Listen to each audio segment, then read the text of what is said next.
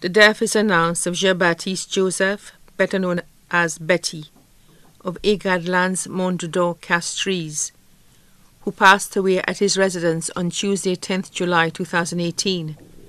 Left to mourn one son, Jim Xavier of Lac-Wamingo, employed in the Ministry of Social Transformation.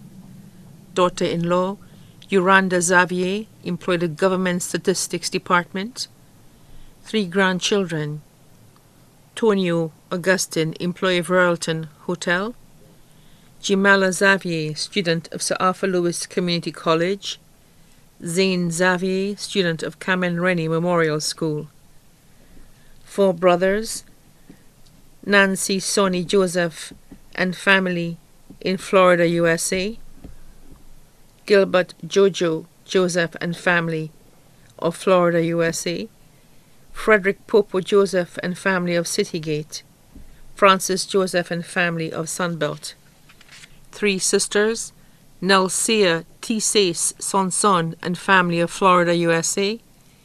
Mary Conibut and family of Arundel Hill. Pauline Joseph and family of Citygate. Numerous nieces and nephews including Sharon Senpri and family of Citygate, Matthew Senpri and family of Bisee, and the Xavier families of Castries. Also left to mourn Dorothy John and family. Close friends Lorena Joseph and family, Kathy George and family, and Althea, all of Agard Land, the staff of Ward 9 of Victoria Hospital. The funeral service for the late Jean Baptiste Joseph, better known as Betty,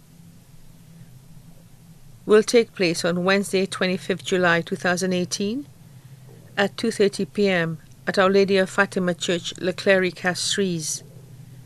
The body now lies at Rambali's funeral parlor at Calvary Road, Castries. The body will be cremated.